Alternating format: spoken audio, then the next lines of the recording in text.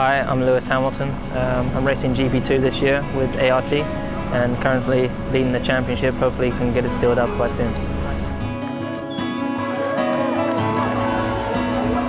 Without my family and without my dad there, uh, I would not have come as far as I, I have today. Um, with him and also my brother and my stepmother, they've been there since day one. They've devoted their lives um, to making sure that everything's been right, that um, I'm always focused, keep my feet on the ground, and um, you know, they've kept me on the straight and narrow road, and um, I think everyone needs that. You know, it's difficult to take your own path. You know, sometimes you go the wrong way, but they've always been there, and uh, my father has been very good for, you know, he's been my manager up until now, and uh, hopefully he will continue for the future. But um, he's done a fantastic job, and I'm really happy that I have their support because, as I said, without them I wouldn't be here today.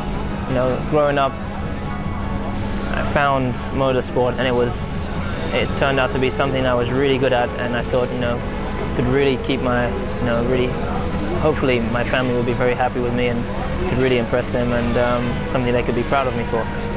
And to, still today, as I as I'm winning, it's a great feeling, and it's nice to know that um, you know I can achieve such great results, and, uh, and for my family, my family to be very happy for me. When I was 10 years old, I was um, I raced in a series called McLaren Mercedes Champions of the Future. It was a series backed by McLaren and Mercedes. Um, I think it was with uh, Zip, uh, Zip Young Guns or Zip, the Zip team, Martin Hines. They organised it together, and I won in my first year. Um, and so, but first of all, that was in 96, sorry. In 95, I won the British Championship and I was only 10. I was the youngest ever to win it.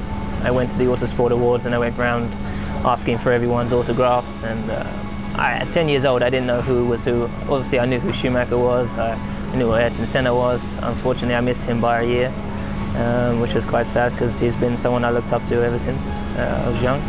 And um, but then I met Ron and I went up to him and I was very confident. I said, you know, one day I want to drive your car or something like that. And, um, and he said, okay. And he wrote down his number and because I asked for their, all their numbers and their addresses and, you know, being 10 years old, you can ask that. Probably today I wouldn't be able to do that, but uh, he wrote down, call, phone me in nine years and uh, I'll sort you out a deal. And uh, I met him uh, three consecutive years, I think three or four consecutive years, and uh, eventually I got a phone call from him and uh, asking if we would like to be supported by McLaren Mercedes in the Young Drivers uh, Support Program.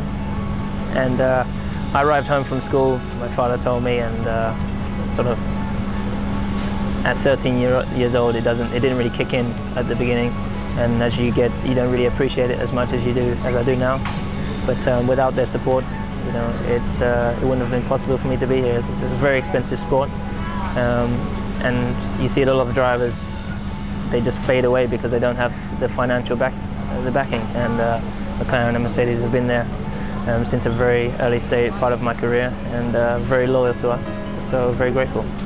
Ron has played a, a very um, big role in my, yeah, he has played, had a major influence on my career. Um, he's almost been a, a, second father in, in some, some ways. Um, I think he's emotionally involved in helping me to get where where I want to be in the future, um, which is good. Obviously, sometimes you have sponsors that just okay, give you some money, go and do it. If you don't do the job, okay, we won't pay you again. It's where he knows and has a real strong belief in, in me and, and knows that I, one day I could be a world champion in Formula One. Um, you know, and he's guided me. I've always taken his advice, and he's always guided me in the in the right way. So it's been very, very good to have uh, almost a second father in that, that aspect.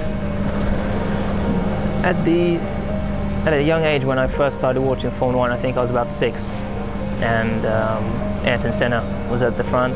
Ayrton Senna was, you know, the way he came from the back at Donington. I don't know what year that was, but um, I think it was around this sort of year I started to, to watch Formula One. And just to see how amazing his driving was, I watched a lot of his videos, read some of his books, and um, I could re relate to a lot of the things and experiences that he has had. And um, from from the first time I watched him, you know, he was someone to, to look up to, and I was inspired by him, and uh, I have been ever since. But also people like Michael Schumacher, you know, he's achieved so much, and uh, you know, I don't know how easy it would be for. I, I don't know whether it would be possible for me to, to win seven world championships, but I would just be happy with one. Uh, but um, you know, we just have to wait and see. But Schumacher, Ayrton Senna, Jackie Stewart, they've all had uh, you know big influences on my you know, aspirations. I think I'm quite relaxed at the point where I don't I don't expect to be in Formula One at a, at a certain time. Obviously now it's becoming clearer my ability, my age. I'm around about the age to get to Formula One, so you know it's going to be either next year or the year after. And then obviously when I was 16, I was thinking, okay, only one or two years and I'll be in Formula One. You know, I didn't have no understanding of how long it's going to take, and it's been a very long and hard um, roller coaster ride, and um, we've come a long way since uh, only 2000, I think it was. You know, 2001, I was racing with Nico Rosberg in karting in the same team and now he's a Formula One driver, and it's it's quite surreal. Uh, I just hope that you know I can win the GP2 championship this year, and uh, and step into Formula One next year. You have to be as professional as possible. The pressure has always been there. It's been there since day one. Um, well, since I had McLaren supporting me, but the main pressure came, comes from myself. I demand so much of myself I want to win every time I go out on the track. I want to be the best.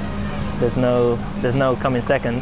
If I don't win, I'm not happy. I need to, obviously, you know, if I finish third or wherever you finish, you always have to take the positives from it, turn it into, into uh, take the negatives and turn it into a positive.